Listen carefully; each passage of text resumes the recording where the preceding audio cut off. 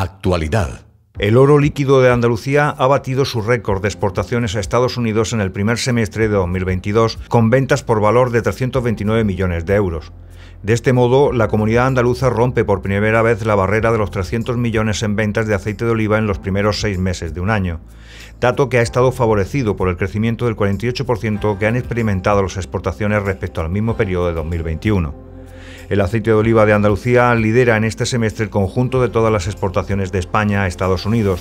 con el 18,8% del total y un crecimiento interanual del 79%, más del doble que la media nacional, más 32%, alcanzando los 1.764 millones, su récord para este periodo desde que existen registros homologables en 1995. Así, Andalucía se afianza como la primera región de España y el mundo en exportaciones de aceite de oliva a una de las principales economías mundiales, con el 89% del total nacional